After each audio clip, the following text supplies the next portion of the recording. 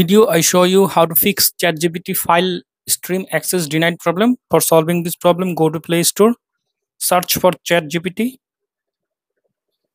up to date your ChatGPT app, then go to settings, scroll down, then go to apps,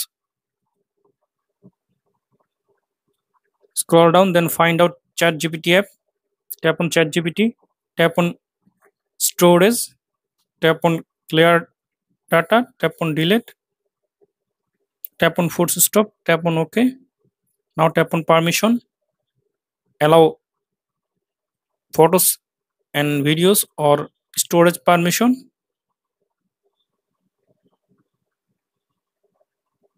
Now open chat gpt app